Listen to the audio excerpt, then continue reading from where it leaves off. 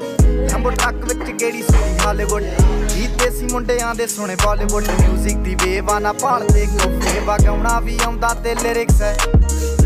ਚੰਗੇ ਜਿਹੜੇ ਚੱਲਦੇ ਸੀ, ਕਿਸੇ ਤੋਂ ਨਾ ਠੱਲਦੇ ਸੀ, ਉਹਨਾਂ ਦਾ ਬਣਾਉਂਦੇ ਆ ਕਲਾਉਨ